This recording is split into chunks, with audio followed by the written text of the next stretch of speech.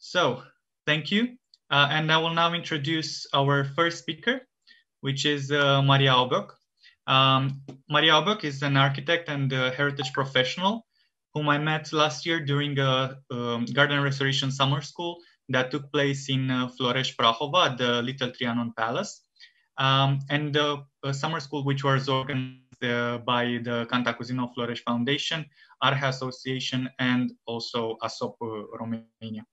Um, Maria was born in uh, Vienna and she is an architect, researcher, author, specializing um, in architecture. From 1999 to 2017, she has been a tenure professor at the Academy of Fine Arts in Munich, um, professor at Roma Tre, St. Istvan University, Budapest, Rhode Island School of Design, USA, lecturer at the Academy of Fine Arts in Vienna, and guest professor at BOKU Vienna. Since 1985, together with uh, Janos Kárász, head of um, Vienna-based landscape architecture studio, um, Auböck and Kárász, uh, realizing projects in several European countries such as Austria, Germany, Italy, and Azerbaijan. Restoration projects for historic gardens, such as the ones at Belvedere Vienna, uh, a part of the UNESCO site of the center of Vienna, uh, Plantenum uh, Hamburg, uh, private residences such as Villa Hahn uh, Wagner in Baden, and, and so on. She also coordinated research projects on landscape architecture and urban planning, conception and design of exhibitions concerning topics of landscape and nature. She is a member of several advisory boards for urban design, city planning, and art in public space um, in uh, Berlin, Vienna, Munich, and Salzburg, and a jury member of international competitions in Austria, Germany, Italy, and Switzerland. Since 2017, she's the president of the Central Association of Architects of Austria. And in uh, 20, 2020, uh, actually a couple of months ago, uh, Maria received the Lifetime Achievement Awards uh, by the European Council of uh, Landscape Architecture Schools. Um, dear Maria Auböck, uh, it's very, I'm very happy to to see you again, and I'm very much looking for, forward to your to your talk. And now I give the floor to you. Thank you for accepting our invitation. Thank you so much and a great introduction. I'm happy to be with you. I would be happy to be in Romania as a lockdown is hitting Europe all over. We have to stay safe. And I would like to start my lecture quite away so you can use the afternoon. I chose a topic that is uh, with our studio for some years already but it is a, uh, a topic that concerns um, all of us how to preserve in large landscape architecture projects quality and continuity. I like to present the convention and the uh, in PowerPoint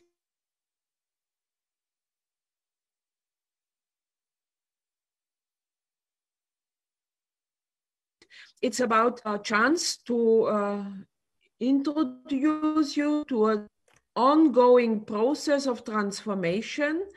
In fact, we uh, have, das ist der Bildschirm. Okay. Ja, danke. So eyeing it, is it okay? Can you, can you, uh, do you see the picture? Okay, so I go on speaking and if anybody feels I had to stop, please stop me. taking this uh, lecture, but I understood it's like 20 minutes, 30 minutes, so I don't to overgrow. Danke, mhm. Eric. So, ähm, wenn ich weiter äh, klicke, ja, okay.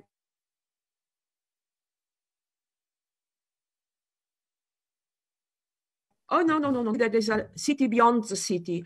In fact, you see a photo from 1907, from 1913, that shows the psychiatric hospital that at that time was the largest in the world, Steinhof in Vienna. Only a couple of years later, Chicago overtook.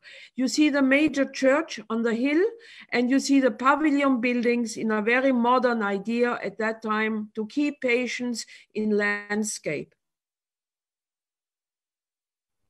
The site has a, a, a complete of hospital use a new uh, chance to convert the site into a campus for university. And it will be used in future in 2025 by several universities, one of them CEU University from Budapest. You see the landscape, it is on the west, uh, uh, northwestern part of our city of Vienna you see that we have an outgo outbranching of the Viennese woods. And in the southern border of this Viennese woods area, there is the hospital with the church on the hill and the cultural axis in the center. I like to go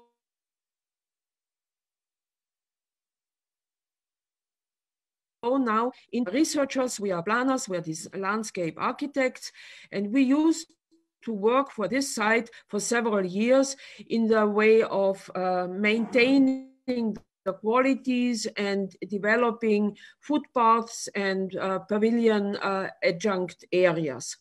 And for this, we have to ask, how can we read monuments of garden history and how can we protect them? By analysis of the cultural impact and by comparison of artistic qualities of space and content of the special programmatic issues. In this case, there is a very strong sentence in German, den Ärmsten das Schönste. This means in English, provide the most beautiful site for the poorest of them all, for the one patient that has with mental diseases an need of protection. So we compared the historical plants and the existing vegetation and use. And for this, we went on site and we compared the photos of 1926 and today. And we researched the plants of 1904, you will see in a moment. And we compared alterations for plants of today. So we have also to compare the change of the use, the functionality. Therapy in 1905 was completely different then. And of course, students and student campus today will have another uh, use for the buildings. So I uh, rush through some of the starting events and I will provide some information about the famous architect Otto Wagner, who created the church. And then I will show you some plans of our vegetation analysis, and I hope that you will enjoy this.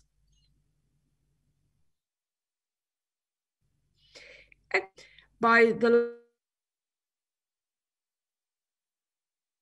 last hundred years exists today. It's a pavilion system in a dense park-like area the garden structures nearly gone complied a very formal in impact of plant use. In fact, the many uh, pinus you see here are uh, planted only later when the city of Vienna overtook the site. It used to be planted in a very rich, colorful, uh, deciduous trees, and uh, I will tell you more later.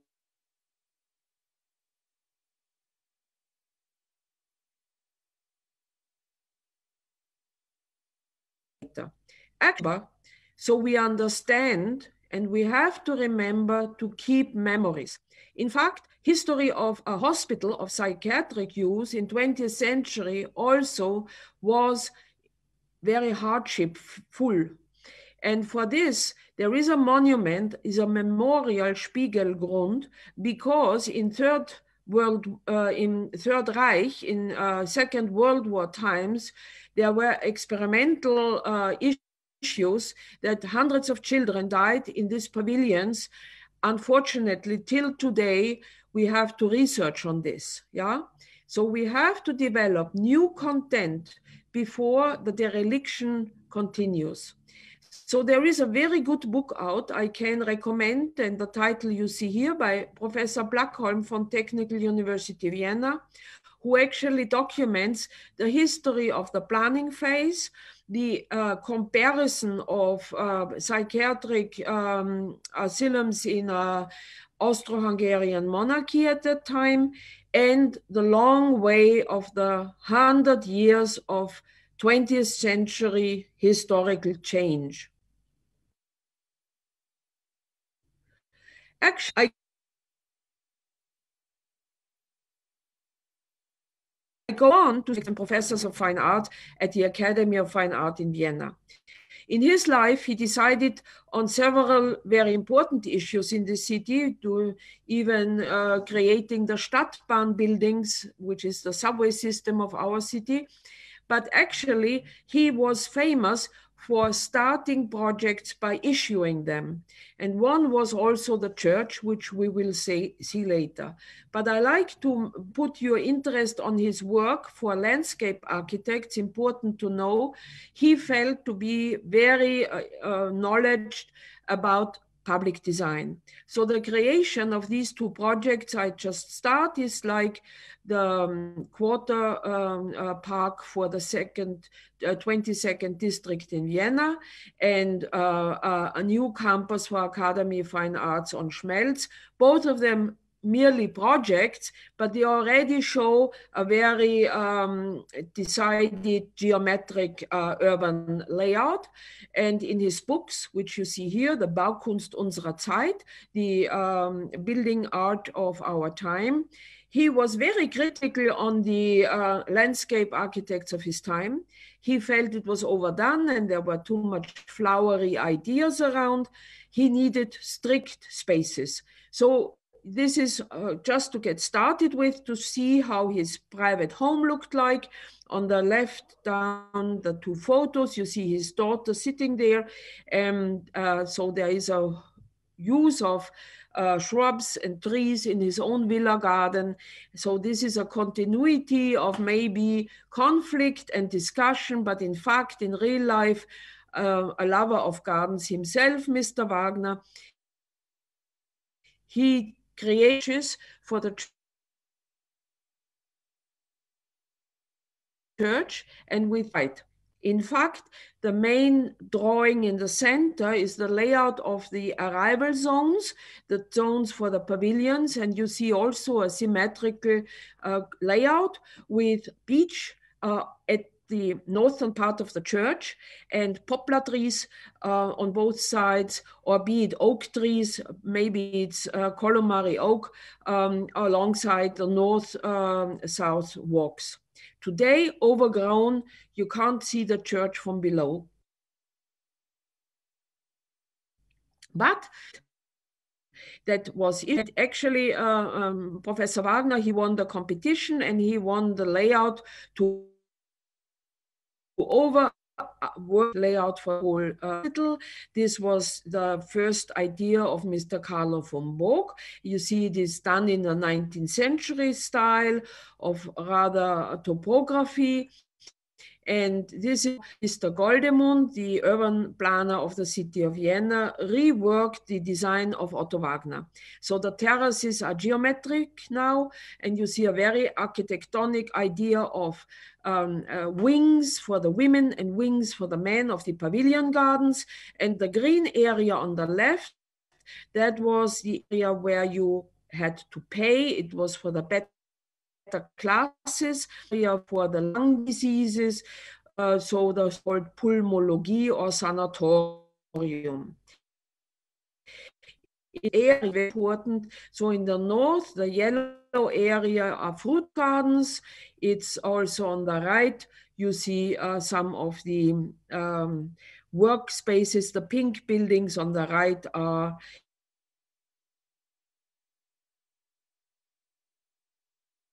the um, Wagner Spital is on the top right, you see the client.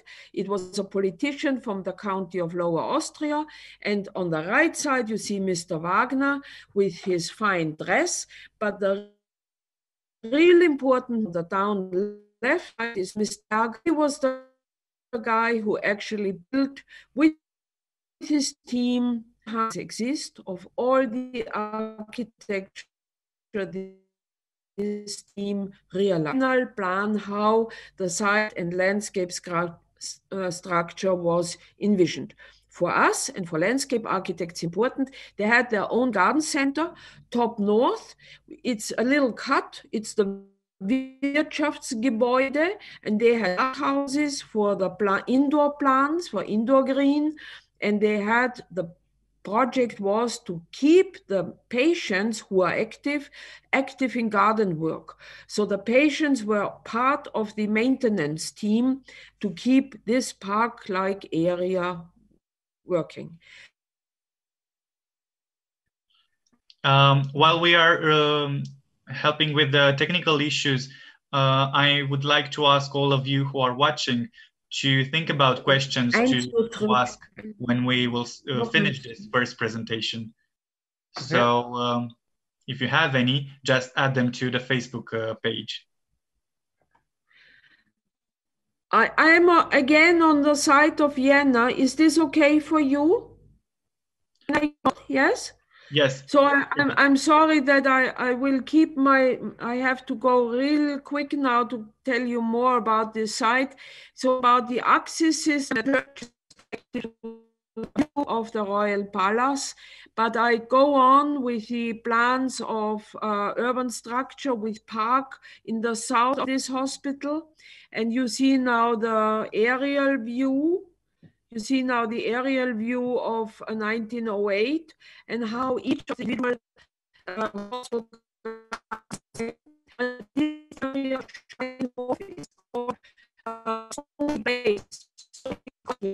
So the nature was really grim up there.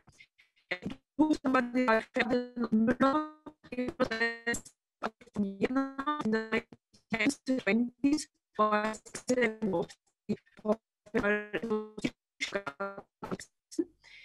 um, excuse me again, Mrs. Albert. Um, yeah? there, I think there are some internet connections.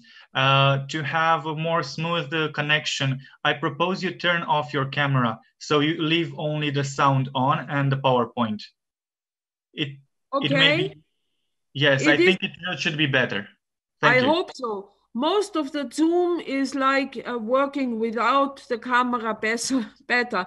I just go on speaking, yeah? But tell me, Alex, what's going on? He's a real good mediator. I'm, I'm thank you for Alex Mexi helping us.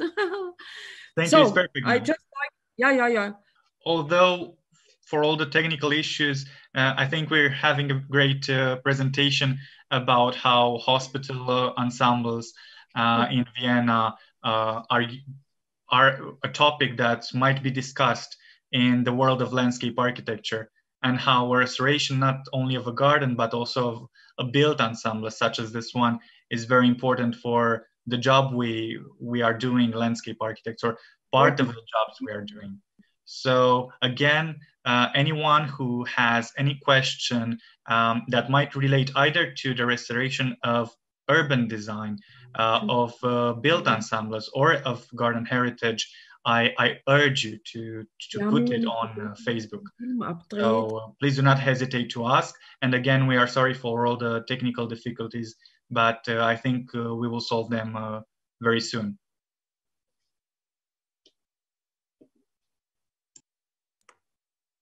Hello, can you hear me now? Yes. Is it okay?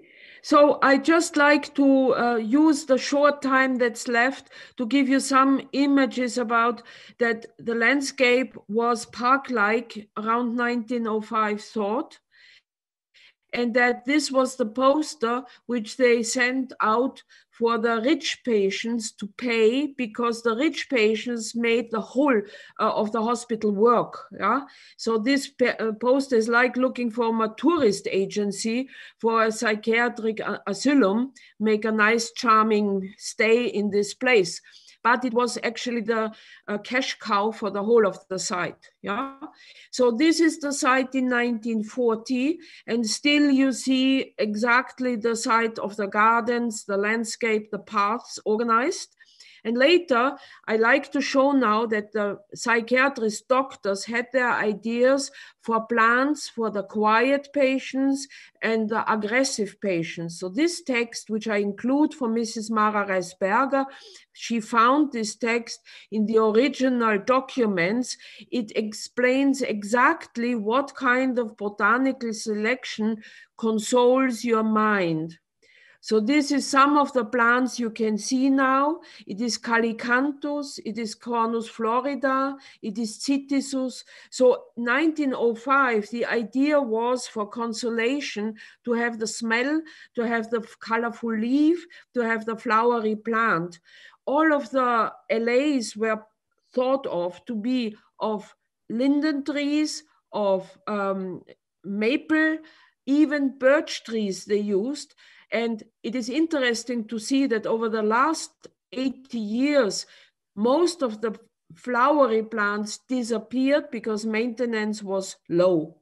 So some of the materials and details are very interesting. They form the consistency on the side of the public sites and the streets and the stairs are very unique as you can see on the photos in the style of Art Nouveau now when we look at the use there was a change in the 1926 in the idea of the plant use and the doctors thought that uh, the production of um, ozone will be by uh, conifers. So implantation of pinus and picea and abies started and so many many many influences happen now to have a rather consistent um, uh, conifer landscape at that time, it's interesting to see that the patients at work on the photo are bright.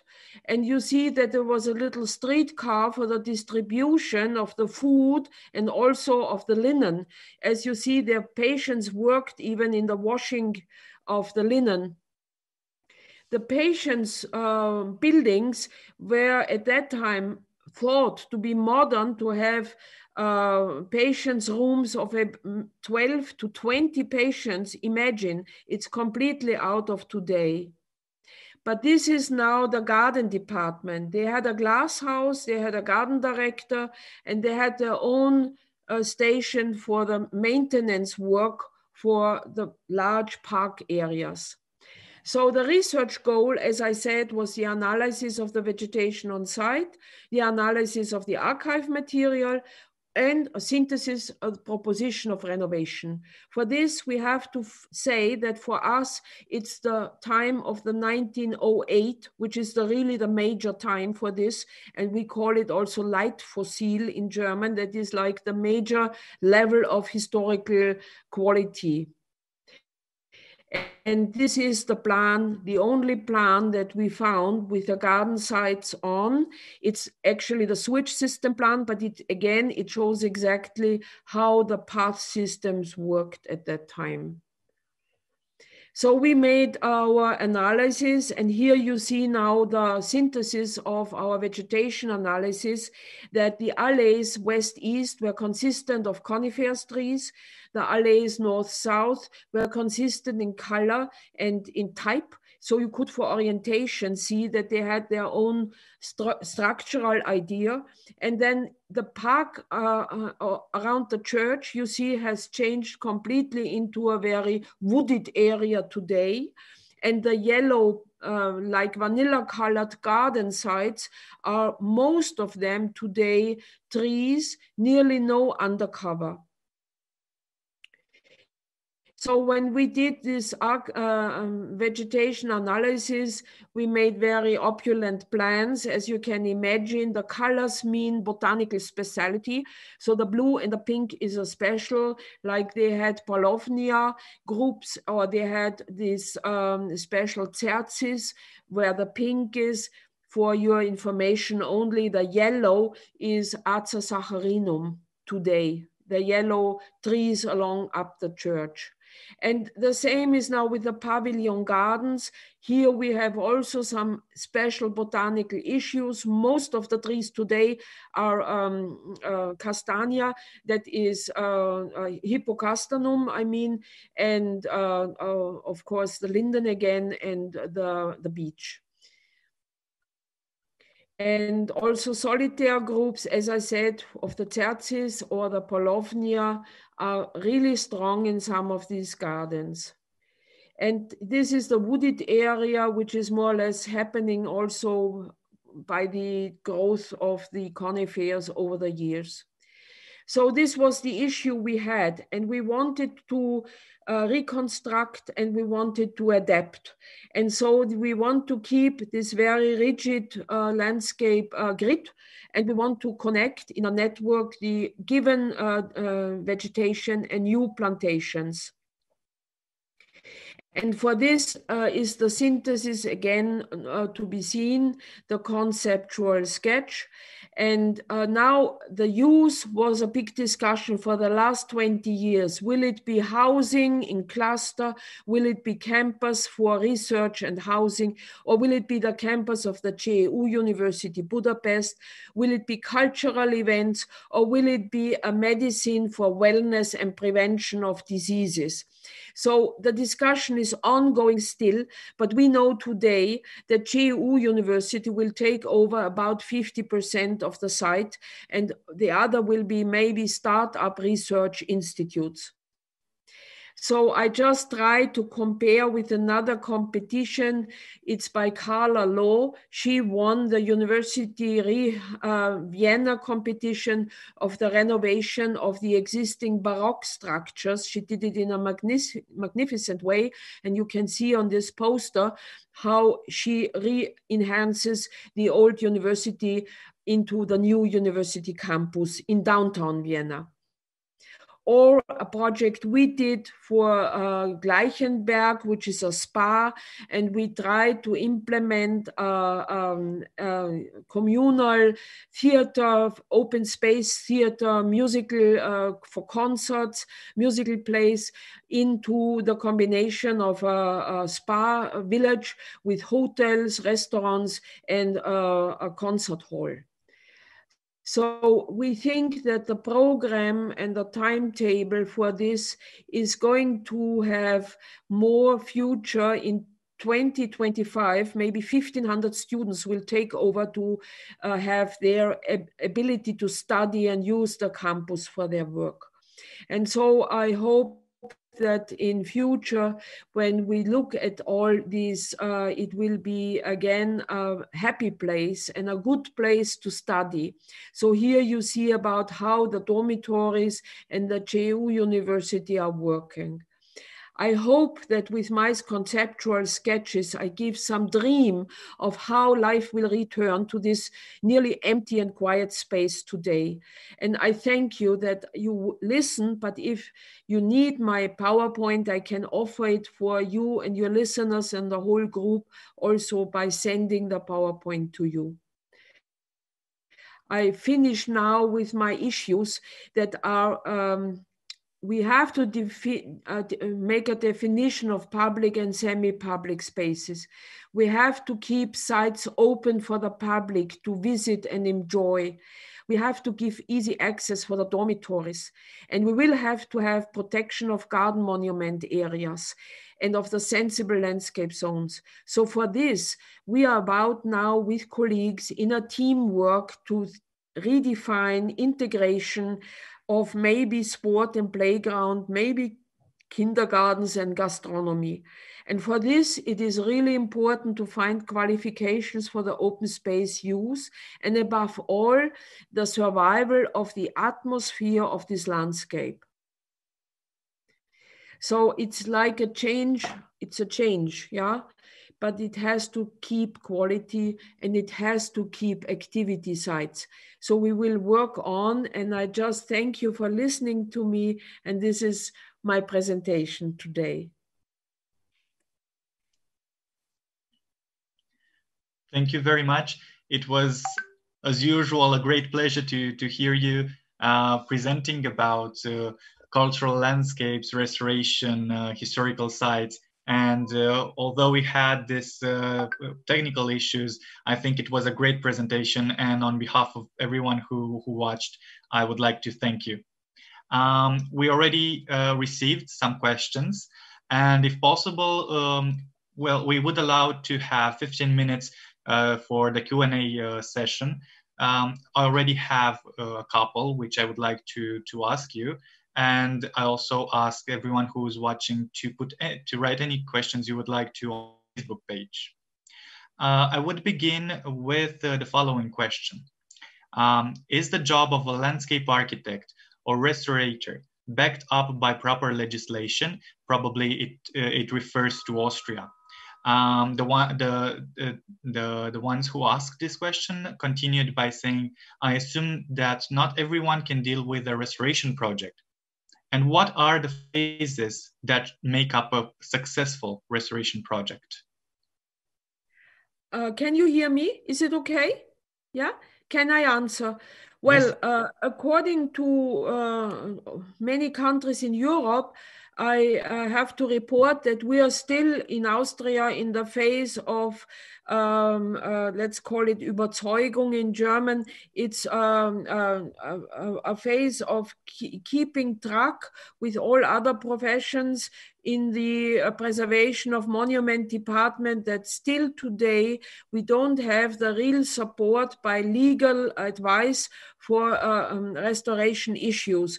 In our um, uh, law, uh, uh, Austrian Preservation of Monuments law, only 57 uh, sites are uh, protected and it is not that this site I presented is protected. So it needs a lot of convin uh, convincing people, convincing the uh, in uh, in charge of the site, the um, the, the responsible um, persons in, on site. They know the value, they know how to uh, preserve it, and I'm happy to say that in this year 2020, the city of Vienna is more aware than in 2010, and more aware than in 2000. So it's a process.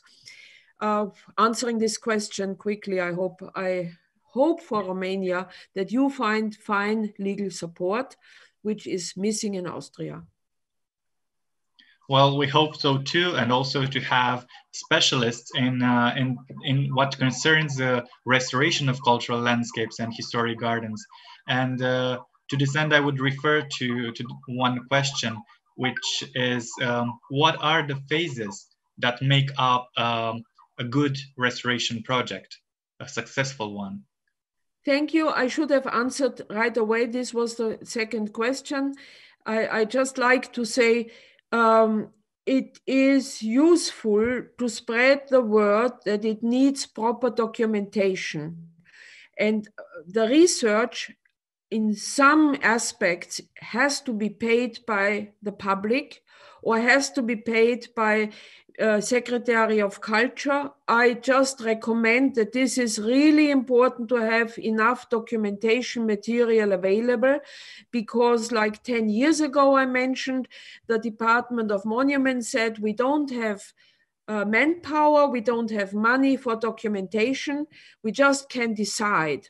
We cannot do research, we don't have the um, back up offices for this. We just decide, but it's not good to make decisions without proper knowledge. Therefore, I'm very much aware that we need enough research in landscape history, in garden art to go on with a preservation of gardens.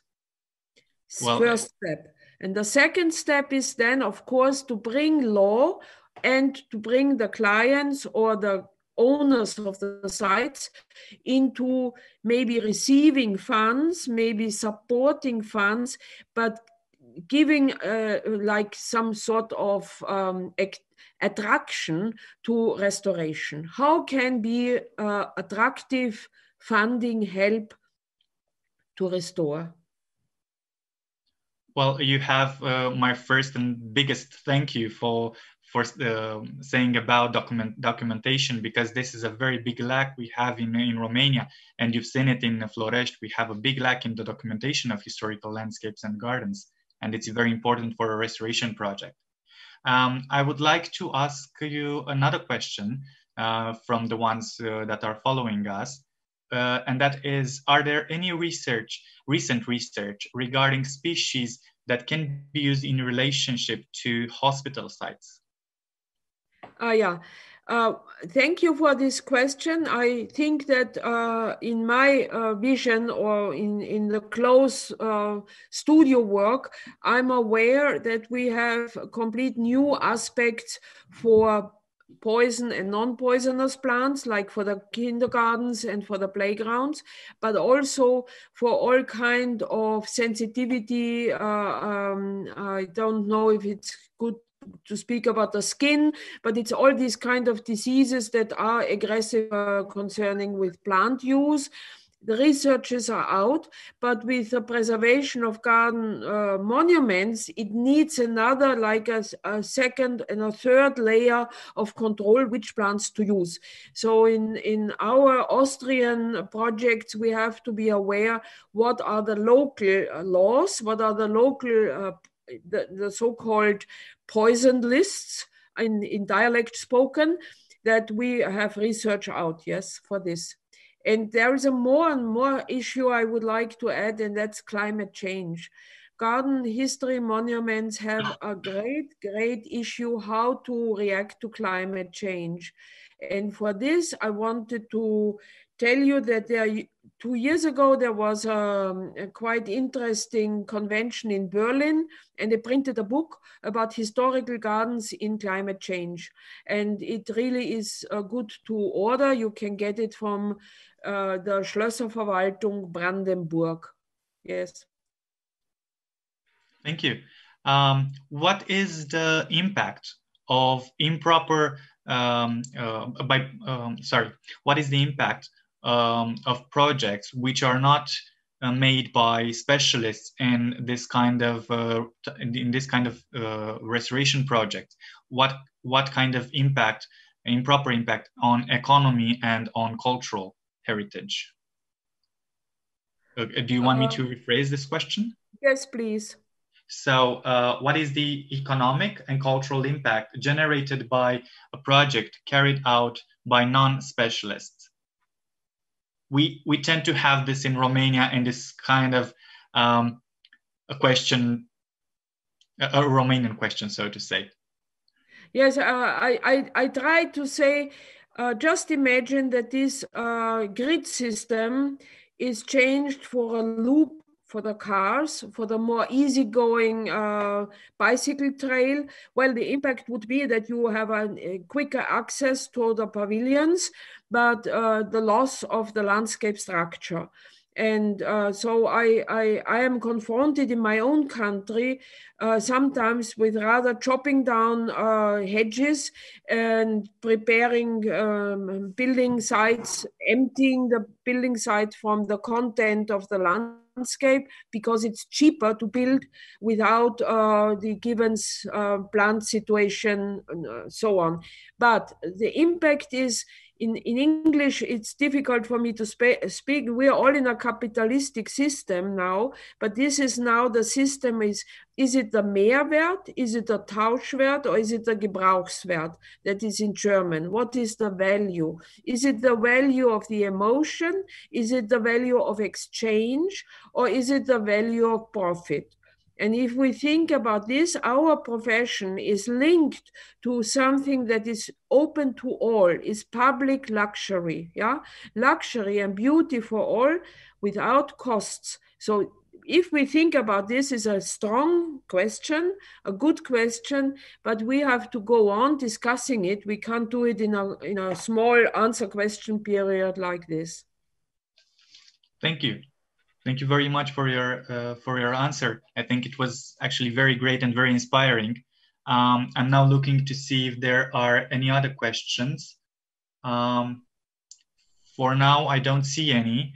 Um, I would like to ask you, uh, what did you find most interesting about the gardens and landscapes you've seen in Romania? And what do you ah. think should be done uh, as, as a strategy for a proper maintenance and a proper restoration of what you've seen? Well, uh, thank you for this uh, profound question. Of course, I um, more on the positive side of optimism and hoping that each country in Europe has to define its role in uh, culture and landscape architecture and garden art are very important for Romanian culture. To support it and to go on in the preservation would mean also to know more about the own history of the country's history. So some of the uh, monarchy's time or some of the republican time can be criticized, but the lots of the villa gardens and the parks I've seen in Bucharest, but also in uh, other cities like Cluj and so on.